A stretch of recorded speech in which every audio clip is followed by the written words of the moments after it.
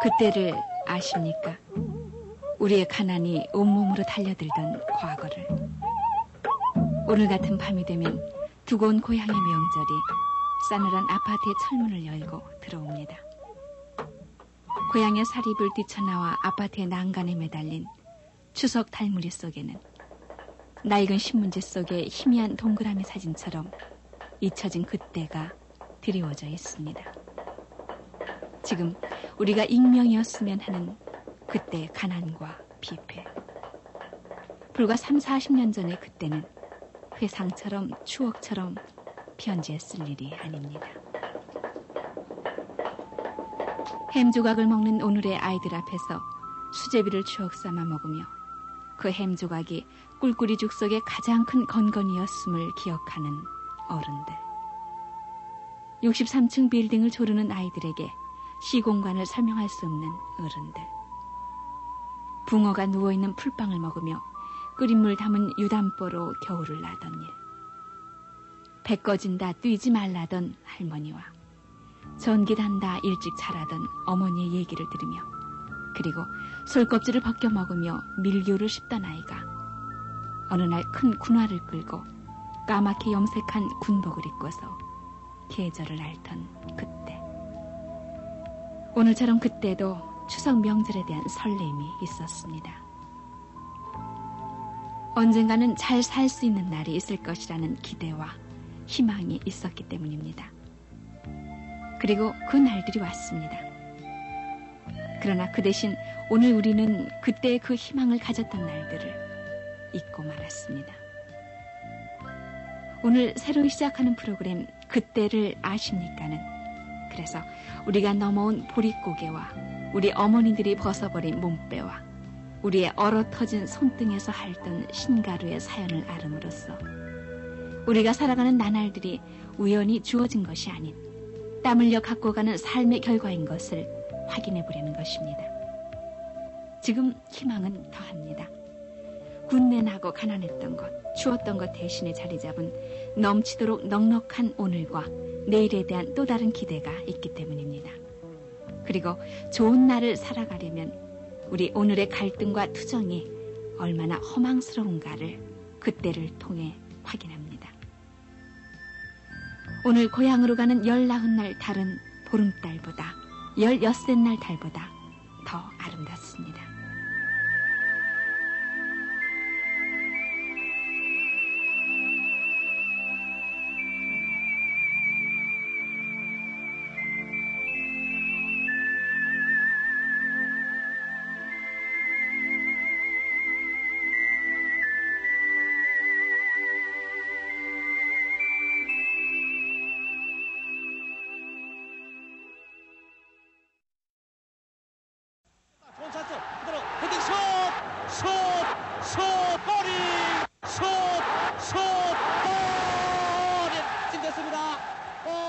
스탠드를 가득 메운 관중들의 시선이 축구공의 방향을 따라 쉴 사이 없이 움직입니다.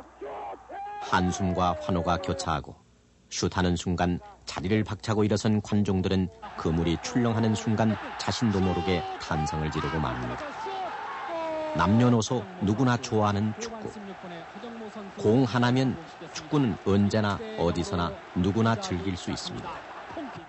이제 모레면은 아시아 경기 대회가 열립니다마는 올림픽 경기군 지역 경기군 그 경기의 휘날에는 어김없이 축구 결승으로 끝을 맺는 걸 보면은 축구는 우리나라뿐 아니라 세계인들이 가장 열광하는 경기임에 틀림이 없습니다. 이제 우리나라에도 전문적인 축구팀만 전국에 400개 팀, 일반인들이 취미로 즐기는 조기 축구팀이나 직장별, 지역별 아마추어 축구팀은 헤아릴 수조차 없습니다. 모두가 산뜻한 축구복에 축구화를 신고 아무리 이름 없는 팀이라도 예비공 서너 개쯤은 준비되어 있습니다. 차던 공이 터지면 다른 공을 차면 되고 그 공도 터지면 새 공을 사면 됩니다. 그러나 쭈그러진 축구공 하나를 얻기 위해 20리 산길을 맨발로 뛰어갔었다는 불과 3, 40년 전의 얘기가 까마득한 옛날 얘기로 들리는 것은 우리들이 오늘에만 집착해 살아왔지 그때 그 어려웠던 우리의 어제를 너무나 쉬 잊고 살아가기 때문일 것입니다. 지금 학생들이 옷을 입은 건 보시다시피 얼마나 아름다운 복장을 입고 얼마나 좋은 볼에다가 얼마나 좋은 축구화에다가 장비들을 갖추고 볼 차는 것을 저희들이 지금 보고 있습니다. 우리 어린 시절에는 이와 같이 좋은 볼이라든가 좋은 유니폼이라든가 또 그리고 좋은 환경 속에서 볼을 차본 일이 없습니다.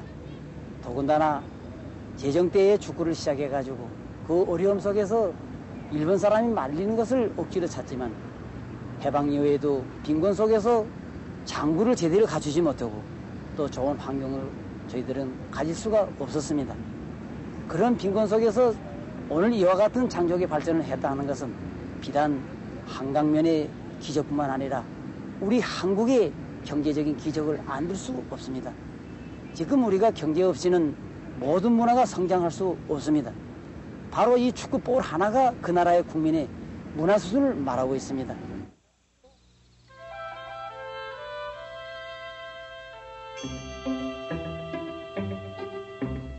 지금으로부터 3, 40년 전만 해도 돼지 잡는 광경은 구경거리의 하나였습니다. 해방이 되고 그리고 전쟁이 닥쳐들어서 우리의 삶이 혼돈과 황폐의 밑바닥에 눌려 있을 때이니까 마을의 혼사나 회갑 같은 큰 잔치나 벌어져야 돼지를 잡았습니다. 그것도 고작 1년에 겨우 한두 번. 생선이나 고기는커녕 어른 아이 할 것 없이 풀처럼 쑤어 만든 불대죽이 다반사였고 그나마 쉬 꺼진다고 깡충거지지도 못하게 하던 그런 시절이었습니다. 커다란 가마솥에서 물이 끓기 시작하면은 우통을 벗어젖힌 마을의 장정들이 발버둥 치는 돼지를 마당으로 끌어냅니다. 운명을 예감한 돼지가 한바탕 소동을 피우기 마련이 이 틈을 타서 돌담 밖에서 기웃거리는 아이들이 하나 둘 문 안으로 스며듭니다. 평소 동으로 가라면 서로 가던 청개구리 아이들도 이날만큼은 어른들의 환심을 사기 위해 얌전한 표정을 짓습니다. 심부름을 제일 잘하고 많이 한 아이에게는 선물이 주어지기 때문입니다. 그 선물은 바로 돼지 오줌통. 행운을 잡은 아이가 행여나 누가 뺏을세라 두 손에 움켜쥐고 살인문을 빠져나가면은 나머지 아이들은 우르르 그 뒤를 쫓습니다. 개가 먹이를 물고 구석진 곳으로 찾듯이 아이들도 후미진 곳을 찾아 옹기종기 모여 앉습니다. 밀대를 꺾어 오줌통에 바람을 불어넣으면 오줌통은 풍선처럼 부풀어 오르고 명주실로 끝을 묶으면 영락없는 축구공입니다. 애들 머리통만 한 이 오줌통 축구공은 천연 가죽이니만큼 대단히 질겨서 잘 터지지도 않았고 탄력 또한 요즘의 가죽공 못지 않았습니다. 그 오줌통은 저그뭐 볼이 없으니까 그 동네에서 이제 돼지 잡을 것 같은 그런 거, 그 어, 오줌통은 저거다가 그냥 이제 바람을 넣지만 그 바람 넣어도 그게 뭔가 이저 이 단단하지가 않아요. 그냥 아주 흐느흐느하지. 예, 그걸 놓고 이제 치면 멀리도 안 갑니다. 그냥 그냥 치면은 그냥 그 덱덱덱덱 굴르고 굴르고 이제 그 흙이 묻어요. 그거 더럽지 사실 말이에요. 어.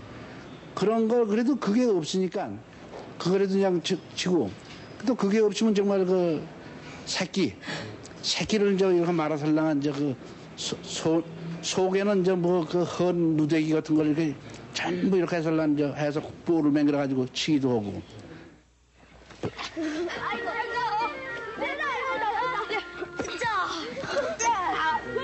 공을 차는 장소도 손바닥만한 공터만 있으면 어디나 좋았습니다. 산비탈이나 개울가도 좋았고 추수가 끝난 밭이나 논이면 더욱 좋았습니다. 돌불이 나무뿌리에 무릎이 까지는지도 모르고 흙먼지를 하얗게 뒤집었을 때까지 오줌통을 차댔습니다. 이 아이들이 지금의 4, 50대 장년들입니다.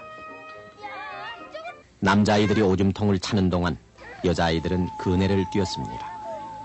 마을에서는 커다란 당산나무에 줄을 매 그네를 뛰었고 학교 같은 데서는 통나무를 잘라 기둥을 세우고 새끼를 꼬아 줄을 맸습니다. 깡충 치마 또는 통치마라고 불렸던 짧은 치마를 입은 여자아이들은 길게 따은 머리를 바람에 휘날리며 담장 너머 옥수수밭 사이로 오줌통에 정신이 탈린 아이들을 볼 수 있었습니다. 어른들도 아이들과 큰 차이는 없었습니다.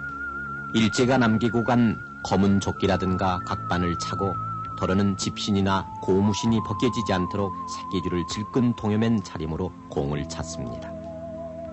공도 새끼를 천이나 솜에 동여맨 새끼공이나 소털을 모아 뭉친 소털공 또는 소, 돼지 같은 가축의 오줌통이었습니다.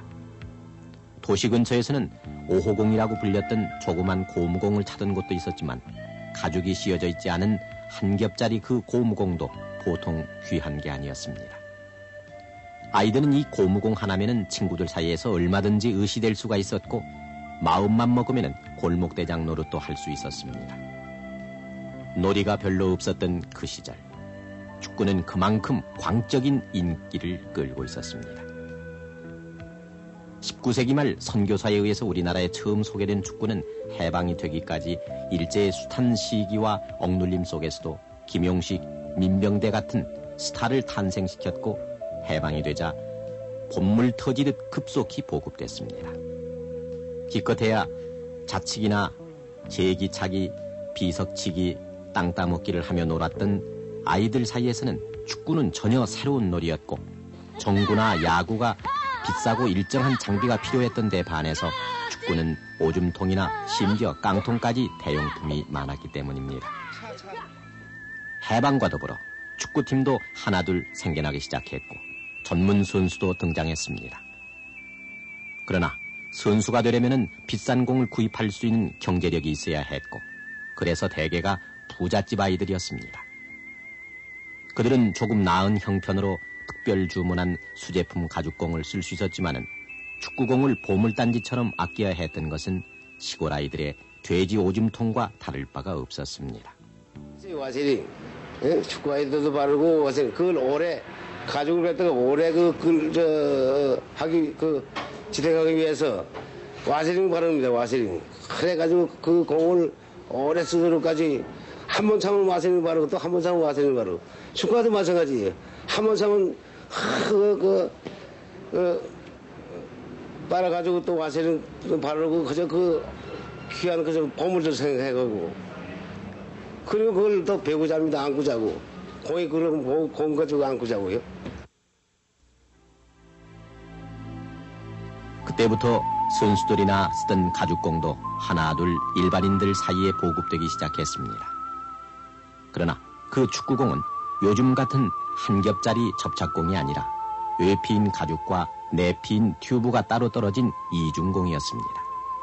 이 공은 튜브가 질기지 못해 조금만 충격에도 쉽게 찢어졌고 바람도 자주 빠졌습니다. 깊고 때우고 바람을 넣기 위해 축구공은 수시로 자전거포를 들락거렸고 공이 못 쓰게 될 때쯤이면은 원래 튜브가 거의 보이지 않을 정도로 꿰매거나 더 쉬운 고무가 덮여 있기 마련이었습니다. 이렇게 축구를 하는 건지 노역을 하는 건지 모르게 뛰어다니는 사이 축구의 매력에 자신도 모르게 빨려든 아이들은 시간 가는 줄 모르고 공을 차며 놀았습니다. 그러나 이런 건전한 놀이조차 마음 놓고 즐길 수 있는 시절은 아니었습니다. 요즘 아이들이 자연학습을 통해서나 어려움풋이 알고 있는 소 먹이기, 꼴배기는 물론이려니와 나무하기, 애기보기, 빨래하기 등 집안의 자질구레한 일들은 의뢰의 아이들 몫이었기 때문입니다. 농사일에 바쁜 부모님들은 새벽에 밭에 나가면은 해가 저물어서야 집으로 돌아오셨고 학교 갈 나이만 되면은 아이들도 당연히 그러려니 여겼습니다.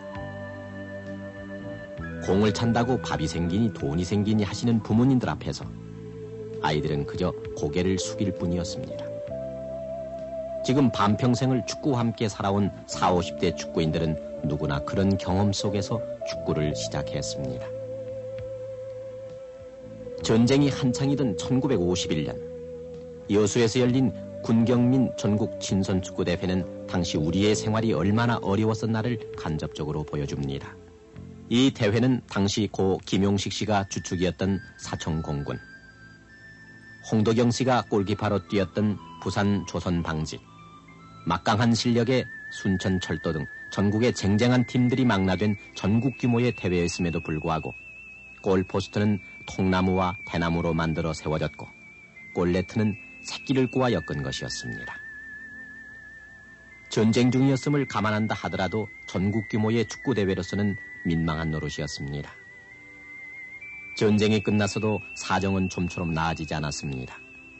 1956년에 있었던 국가대표팀의 외상 항공료 사건은 지금도 축구인들 사이에 유명한 일화로 남아 있습니다.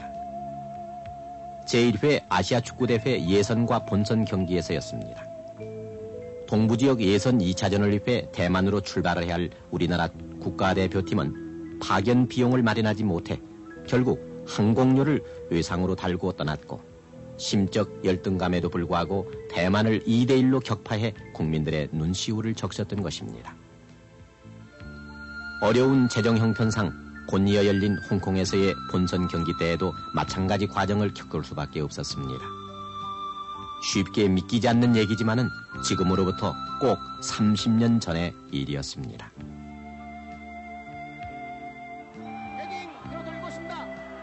60년대 들어서면서 비약적으로 발전하기 시작한 우리의 경제 사회 여건에 힘입어서 축구도 발전에 발전을 거듭했습니다. 몇 번의 좌절과 실패는 있었지만은 아시아 최강에 오른 지는 이미 오래됐습니다.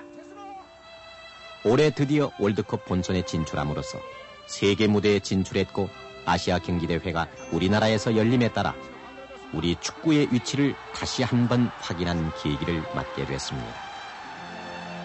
특히 이번 아시아 경기대회 축구 경기에서는 우리나라에서 생산된 국산 공이 국제 공인구로 공식 사용됨으로써 우리의 자부심은 더욱 고조되고 있습니다.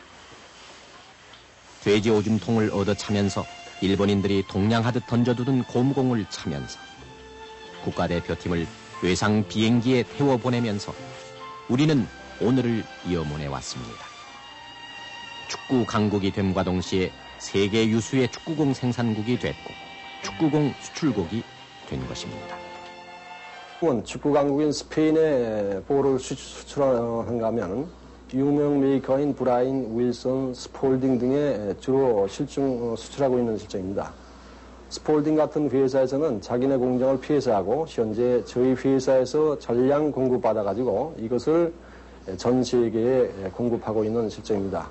아, 그래서 지금 현재 저희 회사 규모는 세계에서 2위 정도로 유지하고 있는 상태입니다. 돼지 오줌통에서 튜브공으로 튜브공에서 다시 현재 한 해 200만 개가 넘게 생산되는 국제 공인구로 축구공이 걸어온 지난 40년간의 역사는 그대로 해방 이후 우리의 현대사를 요약하고 있습니다.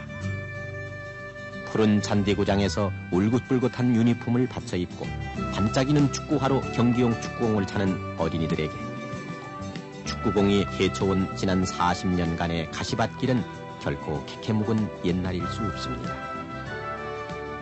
오줌통을 차던 사람들은 바로 이 어린이들의 아버지였으며 축구공을 들고 자전거 포로 달려가던 사람들은 다름 아닌 형님과 삼촌들이었습니다. 그때를 아십니까? 이제 한마음으로 환호할 아시아 경기대회 킥오프. 그 뒤에는 갓난이를 따라가던 영구의 낡은 고무신 같은 우리의 갓난이 있었음을. 그때를 아십니까? 불과 3, 40년 전. 우리 스스로 잊어왔던 고난과 가난의 길을. 내일 명절상을 준비하는 우리 마음 속에 오늘 되살려 지금 아이들에게 들려주어야 할 때가 왔습니다. 돼지 오줌통. 그 축구공의 이력서는 오늘 우리 번영의 노비 문서처럼 남아있기 때문입니다.